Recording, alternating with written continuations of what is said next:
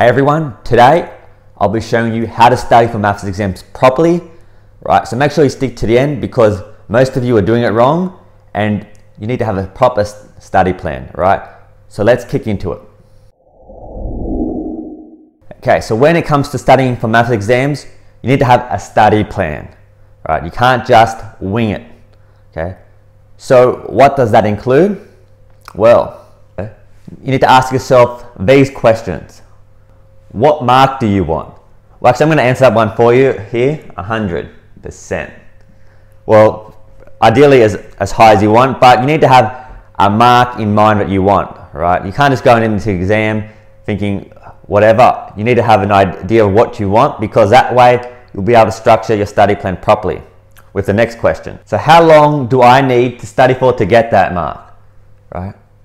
You can't just study however long you want. You need to have a proper study timetable and that's what I'm going to cover in the next section of how long you want to study for exam depending on how big it is, right?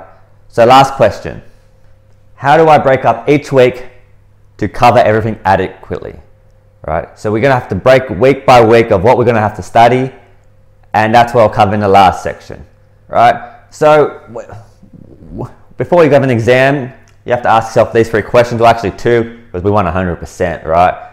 You're here, I'm going to help you get to as close as possible as 100% as you can. So let's kick off.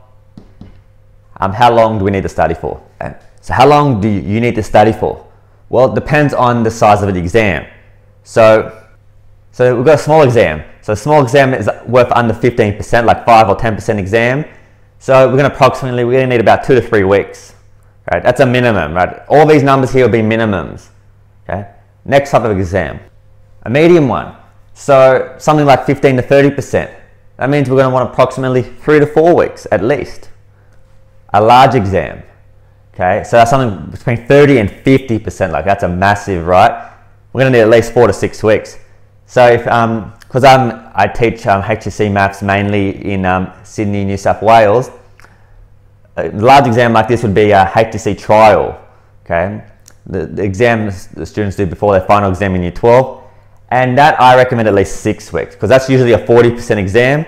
So we're going to need at least six weeks to do that properly.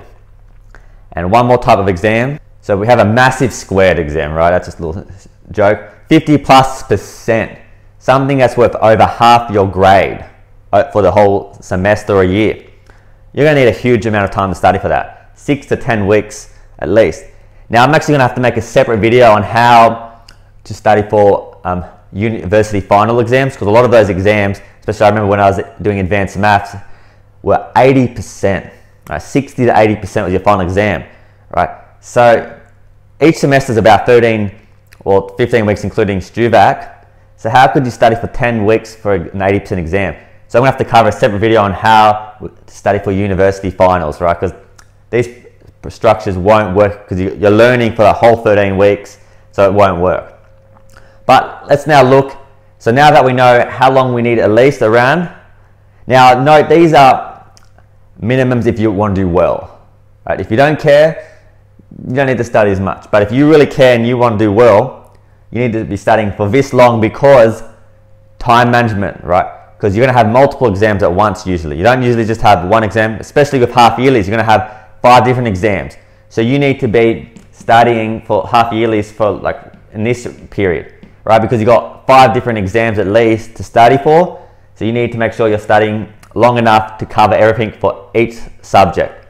So now let's look at how to break each week for maths. Okay, so how do we break up each week? Well, first, so the first 50% of the study timetable, right, of the four week, six week, whatever week we're doing. So what do you want to do in that first phase is summarize all your formulas for maths for everything and then practice lots of questions from your textbook or other resources you have. So this is the revision phase. So the first half is revise everything, okay? So I'll probably actually do separate videos on how to summarize for maths properly. That deserves its own whole video. And practicing all that's, that's pretty straightforward. Practicing questions from past, um, from different textbooks. So for next, from 50 to 85%, which is probably like the last two or so, three weeks, practice past papers casually. Now what does that mean? Well, get a lot of past papers and just do them in your own time. Have all your formulas out because in an exam you probably don't have those with you. and just practice those past papers, right? These are the best um, study material for exams because they replicate the exam. So if you want to do well on the exam, you've got to do questions that are similar. And you've got to make sure you do a lot of them, right? A lot of past papers. But let's go to the final phase, which is really, once you master this last phase, that's when you're going to do really well. So last phase is practice past papers in exam mode, right? So that deserves it. I'm going to do a whole video on that later as well of how to properly do that. But essentially the, the last week or so, or few days, you will be not only just doing past papers, but you're going to set the exact time you have in the exam. So say it's a two hour exam, you're going to set a two hour block and do a past paper as though it's the actual exam and only have the material that you're allowed in the exam? You're going to spend that two hours doing the exam as though it's the actual exam and you've got to practice that as many times as possible. Doing it once is a minimum. Like if you're doing this at least once, you're doing better than 90%. Oh, that's a made up statistic, but you're doing better than most people because most people won't do that.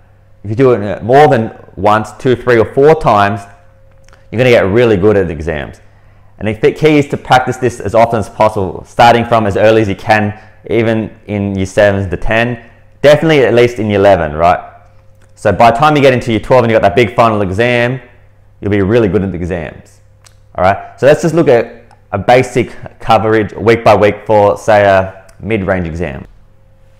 Okay, so let's look, say, uh, we have a 40% exam, right? That's what I said most trials are worth in New South Wales for HSC. So how are we going to study for that? Okay, so week one to three, revision phase, right? Summarize everything, practice all those questions from the textbook and other resources, right?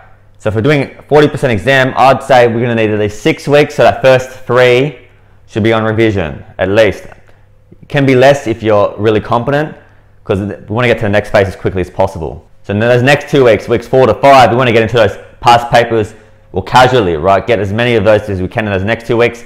If possible, start earlier. Don't have to wait till, okay, three weeks revision. If, if revision's gone well, you, are fairly um, competent in everything, go to those past papers straight away.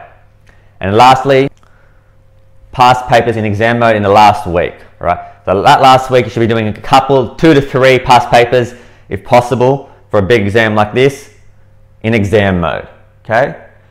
So what I recommend you do now is, because half yearlies I know are coming up in um, New South Wales for year 12, start implementing this structure, right? Most exams, half yearlies are in about four, five weeks, which is perfect, right? Because they'll be worth around 30%, four to five weeks minimum if you want to do well, all right? So if you enjoyed this video, make sure to subscribe for future awesome content, smash that like button, and I do every Friday special study tips for maths, so leave comments below on what study tips you want for maths.